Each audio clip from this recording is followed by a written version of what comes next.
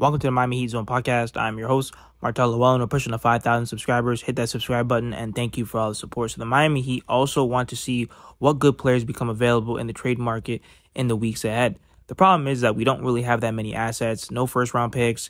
And then also, too, when we make these trades, a lot of these teams, they don't want to take salary. So, let's say that if we want to trade Tyler Herro to the Chicago Bulls for DeMar DeRozan, they don't want his salary. And same thing with Duncan or Terry. So, the Miami Heat really have their hands tied behind their back in terms of trying to upgrade this roster. That's because over the past few years, they've done a terrible job with asset management and maneuvering flexible contracts. Nobody wants any of our players, and even if they do, like I said, they don't want to take on the salary.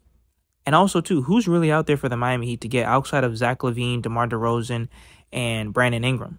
Now, out of the group, I would definitely go Brandon Ingram. I know they all kind of have injury concerns outside of DeMar DeRozan. Zach LaVine, and Ingram, they haven't really been healthy. And then sometimes it's like, are they really worth the price that they're getting paid? But then at the same time, you know, we as Heat fans, we want to see something different on the court. We don't want to see another run back season. How many times are you going to run back the same core? Six, seven, eight, nine times? Let me know in the comments. Who do you guys want the Miami Heat to trade with who's left?